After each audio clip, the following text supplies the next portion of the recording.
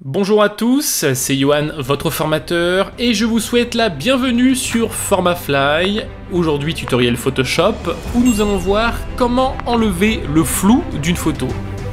Allez, un peu de motivation et on est parti.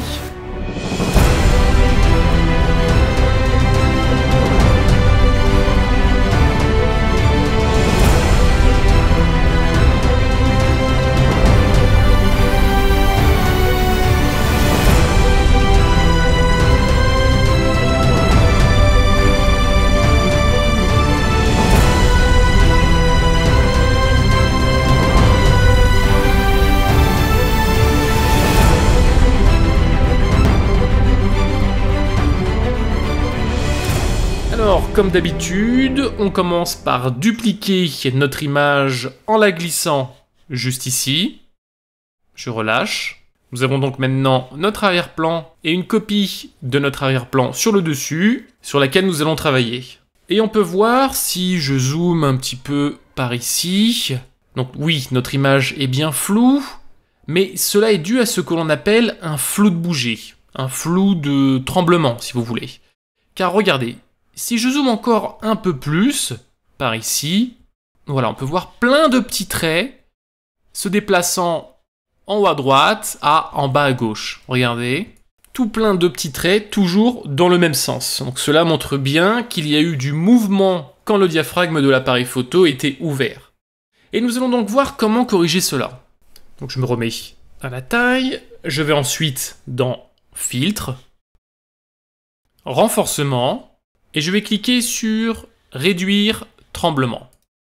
Photoshop est en train d'analyser toute la photo pour justement replacer le tremblement de l'image sur la position d'origine en fonction de l'angle de mouvement qu'il y a eu. Et regardez ce travail, c'est fabuleux.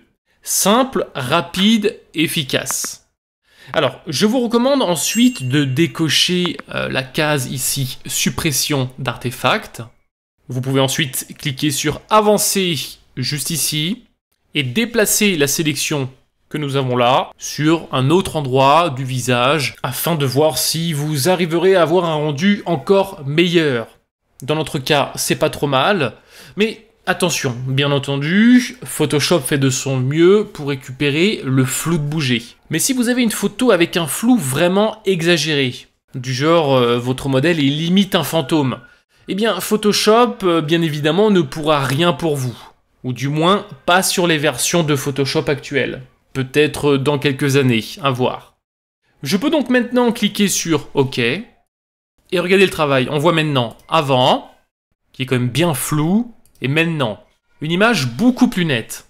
Pour tous ceux qui souhaitent en apprendre plus sur Photoshop, je vous mets le lien de la formation Photoshop Masterclass dans la description.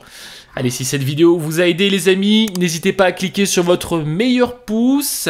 Et si vous voulez recevoir plus de vidéos comme celle-ci, eh bien abonnez-vous à la chaîne. Dites-moi dans les commentaires les amis si ça a fonctionné pour vous et si vous avez d'autres techniques à nous partager. Bon shoot à tous, bonne retouche et je vous souhaite une merveilleuse aventure dans le monde de la photographie.